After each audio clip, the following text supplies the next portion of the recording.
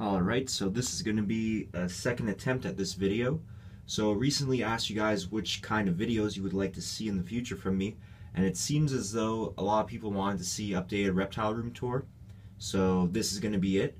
Uh, it's going to be pretty in-depth. We're going to try to take a look at each and every animal we have here at Safari Reptiles. Um, last video I shot actually, for whatever reason, it cut out seven minutes of it. So just going to basically redo it try to go a little bit faster than the original one because the original one I only had time to show about three quarters of this hatchling rack. So um, it's going to be maybe five parts, um, this reptile room tour, and uh, probably going to release one part every couple of days. Um, anyways, let's get on with it. So this is our vision rack, by the way. Um, you could fit about 64 of these small tubs in it. Uh, obviously, we have less than that because we have the two bigger ones uh, at the top. And we also have this bin here, which I usually shed the snakes out in. Uh, I fill it with water whenever a ball python has bad shed.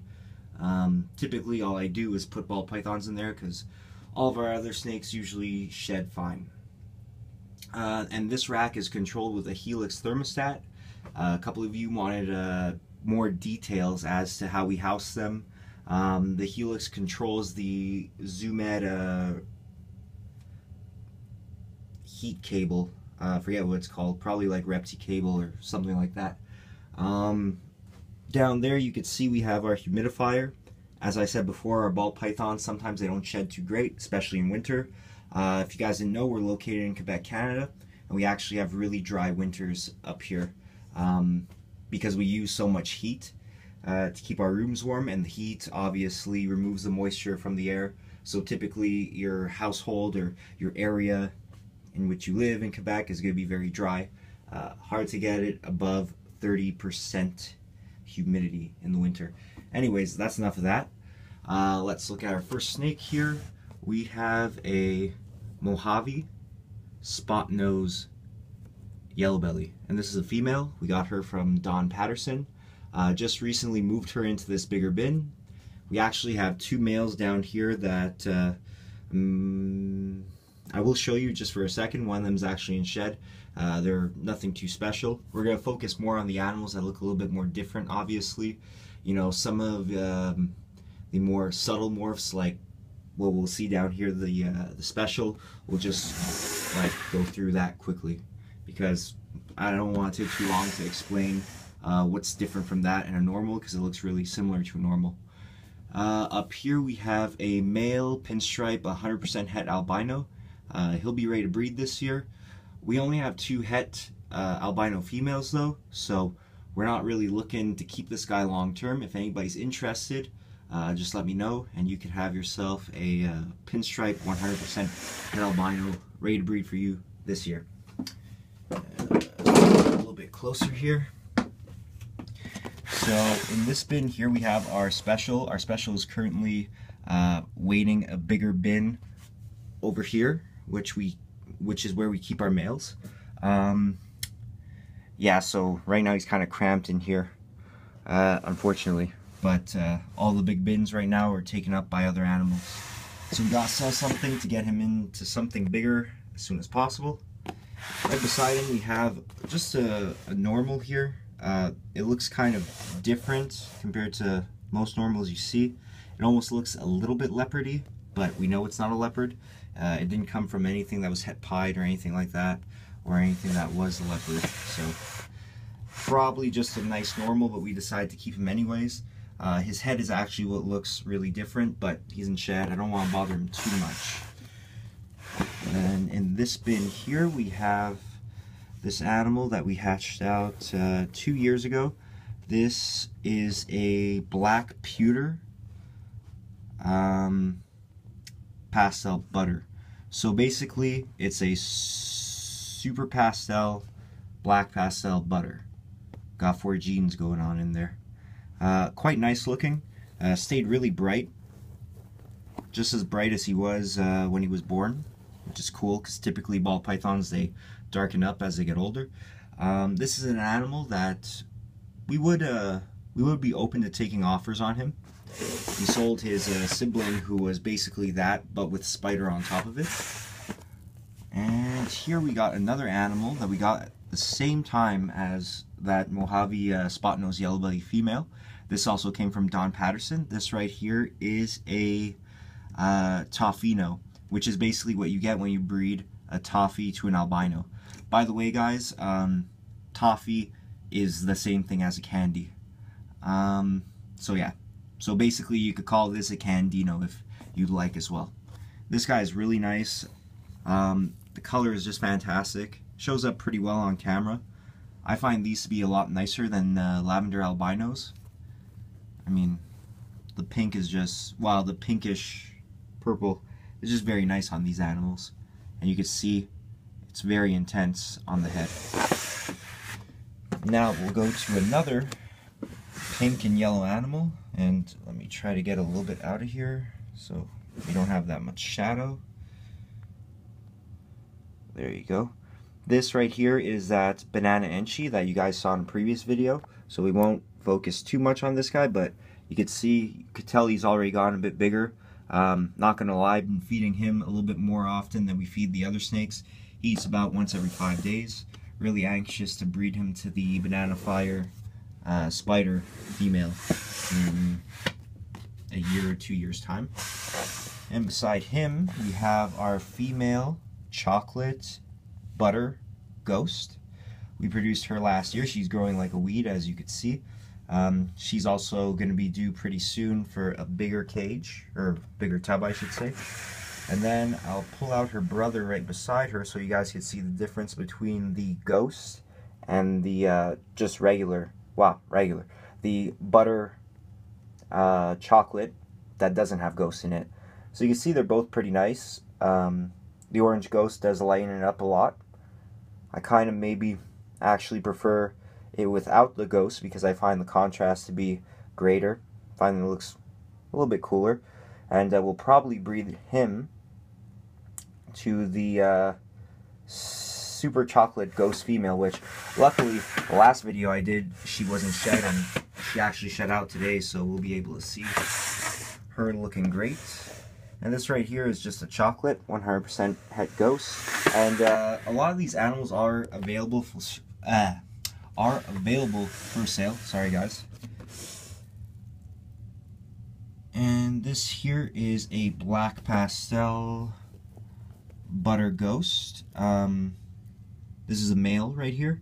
Uh, that last, that chocolate 100% het ghost was a male as well. These two are both for sale, as are most of the animals you're going to see in the video. Um, if anything's not for sale, I mean, worst you could do is ask for it, and I'll just say, no, sorry, that's not for sale. But if you guys are interested, just let us know. We're located, like I said, in Canada, so it's very difficult for us to ship to the States.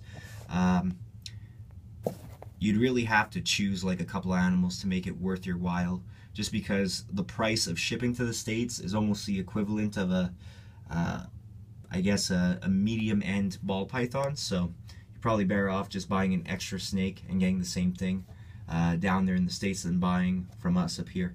But if you have a if there's like a bunch of animals you want, then maybe it could be worth it. Uh, anyways, this right here is a female black pastel ghost. So that was her brother here. He obviously has the butter in him. This is just black pastel and ghost. And you guys can see quite a nice snake. Purple and oranges are really nice. Uh, typically, orange ghost, in my opinion, works really well with the darker morphs uh, the darker base morphs. And this is the same thing, it's a male. So we have 1.1 black pastel ghosts, if anybody's interested. Sorry if I'm going a bit fast here, guys, just want to make Sorry about that, guys, that quick little cutaway there. Uh, of course, the phone ran out of storage. Uh, I only have a 16 gig iPhone, so eh, it gets kind of difficult to fit all this content, or content, all these apps on my phone and whatnot. So yeah, the video just cut short. So I'm going to try to kick it into uh, second gear here. Uh, this is a queen bee, female. As you can see, very nice. going to be rushed. But anyways, at least you guys will get um, the ability to see all the animals we have. Another queen bee, this is a male over here. Look at some lesser bees just quick. Uh, this one's in shed, so no point in really looking at her. This right here is a lesser bee that's not in shed, and obviously if you guys didn't know the difference between a lesser bee and a queen bee, the queen bee has pastel in it. The queen bee is a, um, a lesser pastel spider, whereas this is just a lesser spider. Alright, this ain't nothing too special, but if you guys are looking to get a cheap snake with some cool genes in it, uh, this is a pastel male, double hets for genetic stripe and hypo. And this right here is a regular orange ghost, quite nice. Uh, orange ghost, orange hypo, same thing by the way guys. I'll probably switch between the two names periodically here. This animal it, not too sure what it is. Uh, it it came out of a clutch that should make it a firefly, but um, we kind of messed up. We had a bunch of pastel enchies that hatched, and we're not too sure where this guy came from. He's definitely not just a regular pastel. Uh, he's a male. If anybody's interested, you get uh, double for pretty cheap. We're just looking to sell this guy off. And this right here is a female pastel enchi in shed, obviously. Uh, pastel enchies look terrible when they're in shed. Mm, this male is probably going to go into shed soon, but this is the male. So if you guys are interested in pastel enchi, you can do a lot of cool things with enchi. Uh, pastel specter female over here. We actually have two pastel specters. Uh, they came from our super stripe. And uh, when you breed a super stripe, you could only get yellow bellies. Um, and specters. You can't get any normals, and you guys can see that these guys are not yellow bellies, therefore they are specters. Those are both female, by the way.